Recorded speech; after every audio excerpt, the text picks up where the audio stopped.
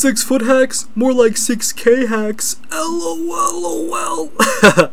How's it going, everybody? And yeah, I actually hit 6,000 subscribers today.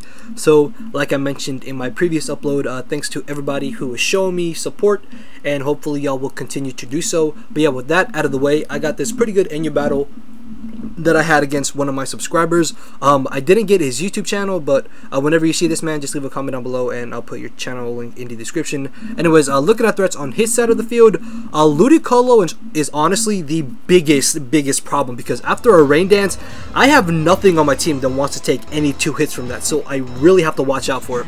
But seeing that he didn't have a rapid spinner, I decided to lead off with my Golurk just to get up my stealth rocks, as he ends up leading off with a Piloswine, and right off the bat I do get up my rocks as he goes for the Icicle Crash. And here, um, it's the second turn of the game. There's really no point to predict, and he actually told me that he expected me to bring in my Wartortle to take the very obvious Ice Shard, which honestly should have been the play I should have done because as long as I have Golurk around, Sawk can lock himself into the close combat, but I played really stupid with Golurk and it's actually going to pay off for me because I'm going to be able to get the Confusion Hacks on him.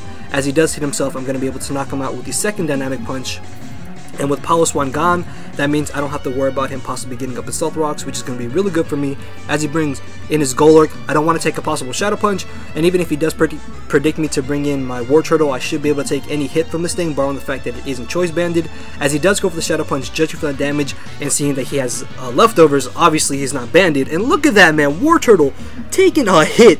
Oh god, I love Wartortle. It's honestly, I think Wartortle is one of the best rapid spinners in NU, so fuck you, Cujo. Anyways, um, knowing that he more than likely would want to switch out, I decided to go for the Toxic as he ends up bringing in the Ludicolo. And the fact that I'm going to be fearing the Giga Drain is way too obvious, so expecting him to go for the Rain Dance, I'm actually going to go for the Scald, which even though, yes, it did only do 8% still, any bit of damage on a Ludicolo is really good, especially with a team that cannot take hits from this thing. And expecting him to just go for the Giga Drain or possibly even go for the Ice Beam on the options that I do want to bring in Fraxure To take the Hydro Pump or Giga Drain, I actually switched directly into my Lickilicky as he does make the safe play and goes for the Giga Drain. Thankfully though, Giga Drain isn't doing entirely too much damage, which means if he does want to keep going for the Giga Drain, eventually this Ludicolo will still die off to the Toxic, so I'm going to protect, take the Hydro Pump and go for the Wish, and he's going to end up dying off to the combination of the Life Orb and Toxic, which is just really great because one of the biggest threats on his team is Adapir as he brings in the Musharna. Because I went for the Wish the previous turn, I know the fact that I want to go for Protect is way too obvious, and knowing that he will want to take advantage of that free turn, I'm actually going to predict him to go for the Calm Mind, and I'm going to go for the Dragon Tail as he does go for it. I Dragon Tail to the Sawk, which honestly, with most Sawks being choiced, I'm going to go for the Protect, see what he wants to lock himself into, as he makes a very good play and brings in the Golurk. I don't know if he's just the bulky offensive set or if he's like a substitute set, so I'm just going to leave in Lickilicky for fodder because with Ludicolo gone, essentially I don't really need my Lickilicky anymore. And he does turn out to be the substitute set, but he actually has the dynamic punch as opposed to the focus punch. And thanks to the fact that I have own tempo, I'm not going to hit myself in confusion and I'm going to be able to get off a wish. So I'm going to pass it off to my Wartortle knowing I should be able to take dynamic punches and shadow punches relatively well, judging for how much damage the shadow punch did earlier. As he does go for the shadow punch, I guess maybe he expected me to bring in my Garbodor or maybe my Behemoth. But honestly, uh, Wartortle is the best switching I have for this Golurk, seeing as, as you see there, dynamic punch and shadow punch are really not doing anything to my Wartortle. So I'm just going to stay and hope that I don't hit myself in confusion to allow this thing to end up behind a free substitute. And I'm just going to constantly keep going for the Scald. And I actually get pretty lucky by not hitting myself in confusion as I get off a huge hit with the Scald. After the uh, next dynamic punch, I'm not going to hit myself in confusion again. And I'm going to be able to knock him out with the Torrent boosted Scald. So Unfortunately for him, he got unlucky with the confusion hacks at the beginning of the battle, but hey, I never get any hacks, so I don't feel bad when I hack somebody. Anyways, uh, he brings in the Musharna, knowing that he more than likely would want to go for like a Calm Mind or a possible Moonlight, I decided just to go straight for the Toxic, as he ends up just taking me out with the Psychic, which really wasn't too bad of a play, just because he more than likely did expect me to have the Haze, which is why he didn't want to use, or try to use my War Wartortle setup fodder.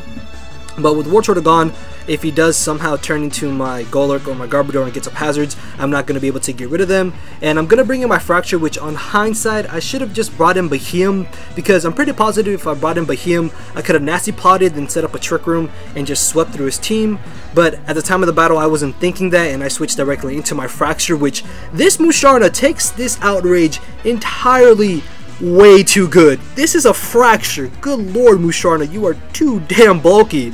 And he's gonna bring in the Ditto, and this is actually the reason why I didn't want to go for a Dragon Dance because if I had Dragon Danced up, a Fraxure, well his Ditto that turned into my Fraxure could have just swept through my team. And at this point, the best thing I have on my team to take a outrage from a opposing Fraxure, I guess you could say, is my Garbodor being max defense, max HP. As I just barely take the hit, I missed the damn gunk shot.